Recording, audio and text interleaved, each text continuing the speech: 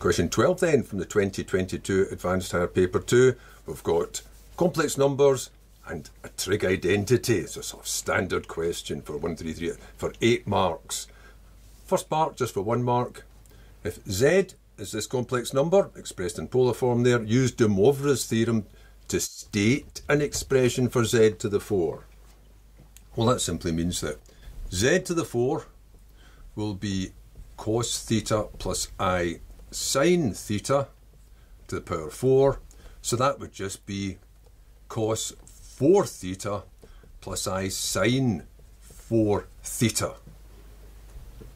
That gets the mark.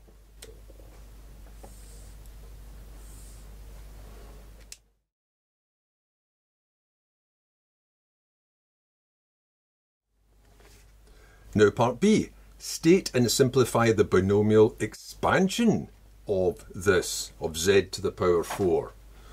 Well, cos theta plus i sine theta to the power 4 would be, better write it down here because it's going to stretch for five terms and each of those terms is going to have a constant, a cos and a sine in it. Well, power 4 coefficients, if you don't remember them, 1, 1, 1, 2, 1, 1331, 14641. So, the binomial expansion will be one lot of the cos theta to the power 4, the i sine theta to the power 0, plus 4 times cos theta to the power 3, i sine theta now climbs up to power 1, and so on.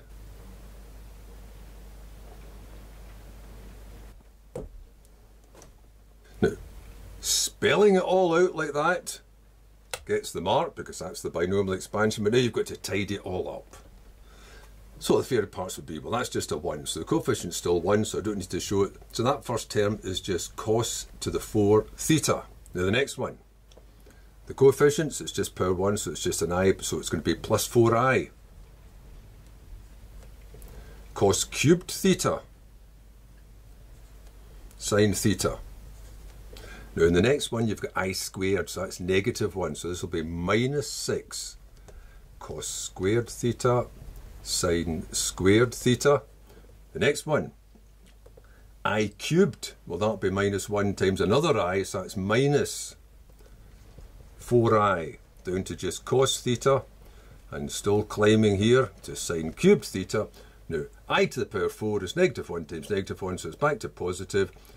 That's just 1 because it's power 0, so that'll just be plus sine to the 4 theta. Now the remaining two marks was just forgetting this whole thing, but they've just split it into two parts. For instance, they've said you get one mark if you get three of them correct, and you get both marks if you've got all of it correct. I think I would be I would tend to tidy that up though into its two parts, into the real part and the imaginary part.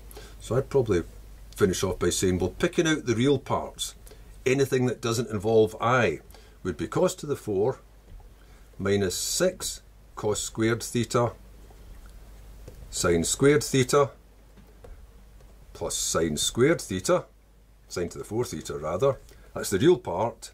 And then the imaginary part would be, we've got, I'll just put plus, and they're both 4i, aren't they? So plus 4i times cos cubed theta sine theta minus cos theta sine cubed theta. Now it didn't ask you to do that. Could have left that 4 inside so it explicitly said i times it. Maybe I should have left it inside.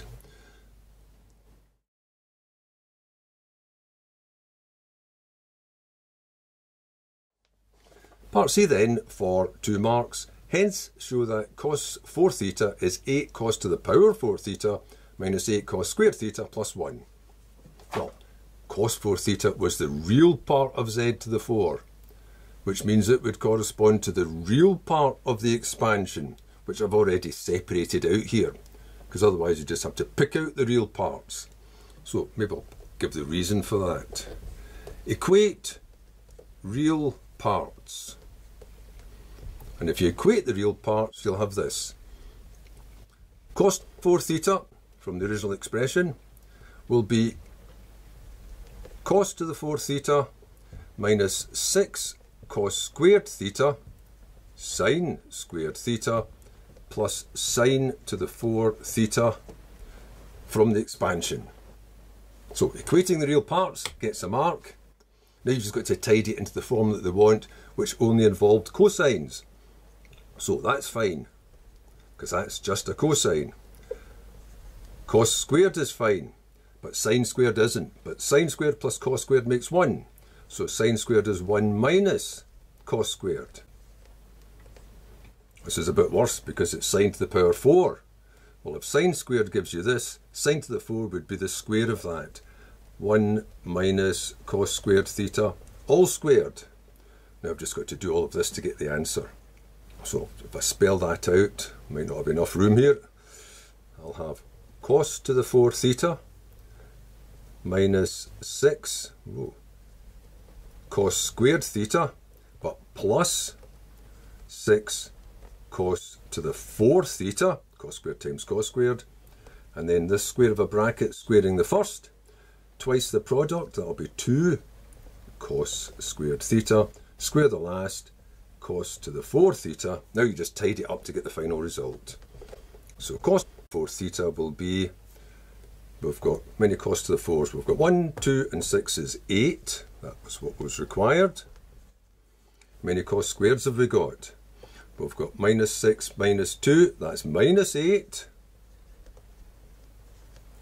And then apart from that, we've got a plus 1. That gets the last mark.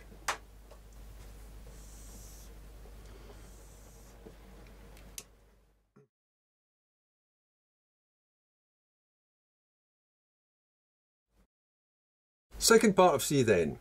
Show that sine theta cot 4 theta, not cos 4 theta, but cot 4 theta can be written in terms of cos only for two marks. Well, cot is upside down, it's a reciprocal of tan. So instead of sine over cos, it'll be cos over sine.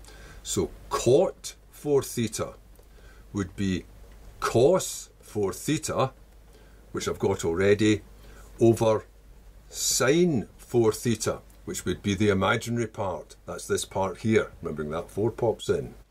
Will I have enough room for this? So I've got a fraction here. Just have to keep it all small then. So cos 4 theta was 8 cos to the power 4 theta minus 8 cos squared theta plus 1. Now sine 4 theta is the imaginary part. Maybe I'll put that back in again. So that'll be 4 cos cubed theta sine theta minus 4 cos theta sine cubed theta. Now doing that part gets you one mark because what you've got to do next is make it in terms of cos only and have this not just as cot but as sine theta cot. But you'd want to do that anyway by taking away these awkward single sines because it's only sine squared you can change neatly into cos's. So taking that across and multiplying would give me sine theta cot 4 theta equals, well the top's fine, 8 cos to the 4 theta minus 8 cos squared theta plus 1. The single sines have gone, so I've got 4 cos cubed theta minus 4 cos theta sine squared theta. Maybe we'll just put this bit over here. So bottom's fine, here for this part, cos cubed theta, that'll be minus 4 cos theta, sine squared is 1 minus cos squared. It's ditto on top. So finally, bring that across and tidy it up. So the top again just stays the same, same numerator. So, tidying it up. From this, I'm going to have a minus 4 cos theta and a plus 4 cos cubed. So that 4 cos cubed can add on to that 4 cos to make an 8 cos cubed theta and then minus a 4 cos theta. Now you get the last mark.